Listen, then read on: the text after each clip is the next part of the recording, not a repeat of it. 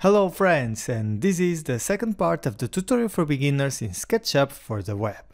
So be ready as we will start in very very few seconds. Arcs In this chapter we are going to explore the arc tool. It's not hard to use it, but there are four different ways, and they are all displayed below the line tool. So, I have prepared these exercises for you to practice, but in this tutorial I will just teach you how the tools work. Let's go! I'm going to activate the option above, Arc. And the process is, click for the center point of the arc. Choose the first point, and in this case I'm going to follow the red axis and type a specific distance, for the radius, 2000 millimeters. Then I need to click for placing the second point or type a specific angle. Here I'm going to move the pointer closer to 90 degrees and you can see that it snaps to that point which is a quarter of a circle. And then I'm going to draw a line from there until the center using that inference point. And as you can see, this could be a perspective of a door in a floor plan. Then if I want to connect the points below with a line, it creates a face automatically. Important note, when I type the angle, it's along the direction where my pointer is. Even I am drawing clockwise right now, I need to type a positive number, this time 30. Now let's move to two point arc. It's the second icon and the shortcut is A. I'm going to draw an arc between the extremities of this line and then I need to type the bulge, which is the distance from the middle of the two points and this height. For the example here, I will type 500. Now look at the next example. This time I want to add the same two-point arc, but on the other side. First I click in the first point, then, as I cannot snap the second point, but you can see that if I drag the pointer along the edge, I type 700 and I can make the second point start from there. Finally, just need to specify the bulge. The third type of arc is the three-point arc. This one is very intuitive, as we only need to click on three points and the only possible arc generates. Let's do it for these three endpoints. I'm going to choose the tool and finally I click on all the points. Now I want to show you a second example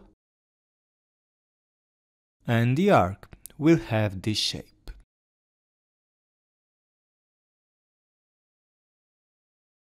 The last type of arc is called pie as we create something like pizza slices, as you can see in the example here. The method is the same as for the standard arc. We have to specify the center point, then I have to place the first point by specifying a radius, and for the second point, I'm going to type the angle, which is 30 degrees. The difference here is that I create an area with the segments that border the arc. For the second slice, I picked the same center point, and this time you can see that when I'm close to the direction of the last line, it snaps to it, so I just need to type the length. Then I also make a 30 degree arc. And finally I just need the last slice, and the angle is again 30 degrees and look that it matches the green axis, as the total angle is 90 degrees. Now, I want to show you a characteristic about arcs that also applies to circles. After making the arc, you might notice that it's actually a group of segments of lines. When I select it, now this one was splitted in two because of the intersection with the line, and go to the entity info, you can see the number of segments here. Now there are 8, and in case you want to confirm, you just count them. If I increase the number to 20, the segments become smaller, and it's harder to notice the vertices. Of course, if I change it to an even bigger number, the arc now is very smooth, looking perfect with this zoom. Then I set 30 for the arc at the left, remove the line, and look that both arcs automatically merged and the number of segments is now the addition of the 30 segments from the left and the 60 from the right. Now you may ask yourself, for what reason SketchUp divides arc and circles in segments? Good question, and this is regarding the usage of RAM memory. If you have a lot of circles in a project with a big number of segments, the workflow may slow a bit. So, the point here is to specify the minimum number that it still looks like an arc.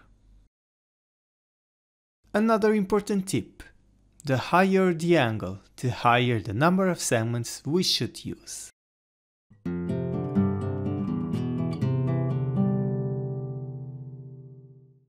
In the next chapter we are going to start making some shapes. And let's start with the circle. So this one is pretty easy. Just click on the button below the arcs and find the icon there. I just need to place the start point and specify a radius. Let's use 200 millimeters. Then, like the arcs, I can see the number of segments there on the entity info, which currently is 24. So, in reality, what we draw here is a regular polygon, and the value means the number of edges. Look, if I change the number to 5, now we have a pentagon. If I change it to 6, we have an hexagon, or to 4, a square. Now one tip here. When drawing the circle, I can increase or decrease the number of segments or edges by pressing Ctrl plus or Ctrl minus. Actually, there is also the polygon tool, and it's a bit better to use it to draw any kind of polygon, like hexagon, octagon, decagon, etc., because there are two ways of drawing. The default one is inscribed in a circle, and if I press the button Ctrl, we switch to circumscribed about circle. Rectangle tool. It's the first icon in the same group of tools and the way to draw it is simple. Put the start point is one of the corners, then type the value for the red axis, comma, and specify the length of the green axis. Another way to draw a rectangle is placing the start point in the center of the figure.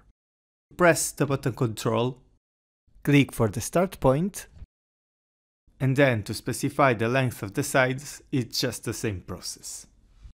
Also, while drawing, when the shape is close to a square, look that it snaps to have the edges equal. But this time, let's draw a rectangle with 500 per 600 millimeters.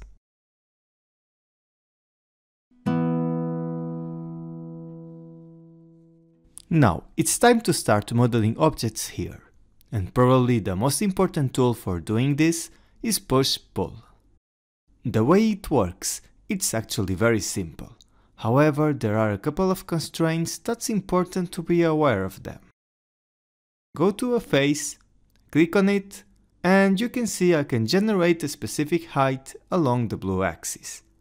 I type for example 500 millimeters, and now we have a solid. Then I can do the same for the circle. I click to push it, type 1000, and this time this is a cylinder. Now let's draw a line in the middle to divide this face in two. Then I can also add an arc here at the top. So if I use push-pull in one of the faces, it only applies in that one.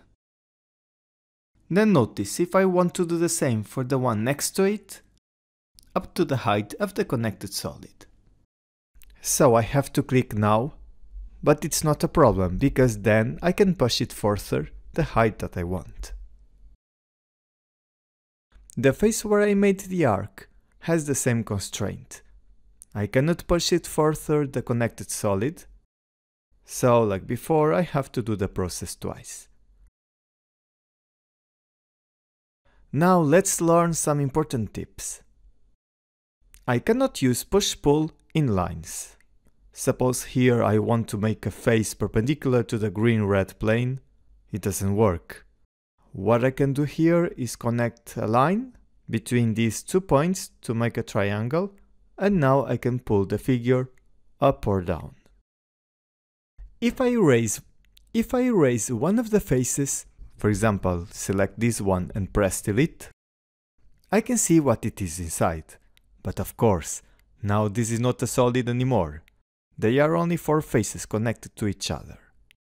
But to convert this to a solid again, it's still possible. I can draw a line in one of the edges at the top and look that the solid is brought back again. Okay, now let's see the tool offset. This one works for faces and also for lines, but in this case we need to have at least two of them connected. But first let's see how it behaves for faces. I'm going to click in this area and what this does is copying the lines in a constant distance. And it's possible to offset this polygon inside or outside. Let's say I want to offset inside with a specific distance, for example 50. Okay, now let's try to offset these lines. And ah, it looks like that I cannot. Because in this case we need a different method. We have to select the lines first and then activate offset. Now I pick up a point and then I type an offset distance of 100 millimeters. Now look at this different example. This time I'm picking this point and notice also that the offset line depends of the distance from the original lines. In the second example, as there are more segments here, look how it behaves for this situation. Before proceeding to the next tool, follow me, I want to make a short introduction about drawing in the third dimension, the blue axis. We are going to make this example that only has lines. I hover this point, drag to the right, and start the first line along the green axis, which has a length of 800 millimeters. Then the next one is along the red axis, and I'm going to type 700. Then, as I need the next line to go up, I press escape, click in the point, and then find the blue axis. Hmm, but as it's too close to the green axis, in order to avoid clicking the wrong moment, I'm going to rotate the axis a bit, so it's going to be a bit better. Type 800 and press enter. Then the next line is parallel and has exactly the same distance as the line below. When I snap to the red axis, I press shift and click on the endpoint below. Then for the last line, I'm going to use the same method, but along the green axis. Okay, I have finished and you can see both figures are identical. Let's go to the next example. Here, I have a circle and a line along the blue axis that starts from the center. This is easy to draw. I'm going to use the circle tool this time hover the center and drag along the red axis to place the center of the new circle. Then type the radius, which is half of the diameter, 400 millimeters. Then for the line, it's better if we hover the boundary first, so it will be easier to find the center point. Then draw this line with a length of 600 millimeters. Now I want to show you the follow me tool. I'm going to draw another line to join to the border of the circle. It doesn't matter the location. And then connect with another one to the center in order to form a triangle. Then I go to this icon and find the follow me tool here.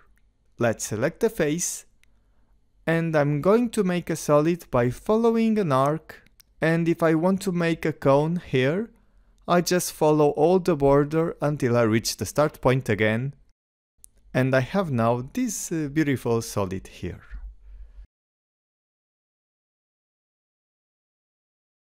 Now let's see the next example. We are going to use this figure, then I'm going to apply follow me to model this polygon around the circle, which its center point is outside of that figure. Yes, the follow me tool only works when after picking a face, we drag the cursor along a path, and it can either be lines or arcs. However, for better results, try to drag the pointer as closer as possible to the path, so the extrusion is going to be easier. Here, for example, I cannot do anything until I put the pointer along another object. In this case that I have a rectangle below, I can use follow me in the same way as I did for the circle. Then if I stop anywhere, I can continue later creating a second solid next to the former one.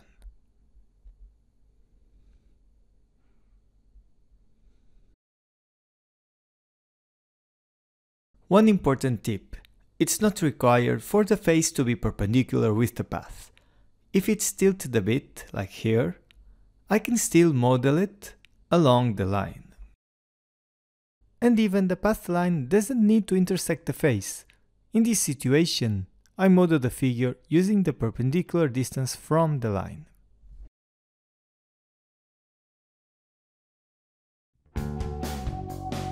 So it's all for now.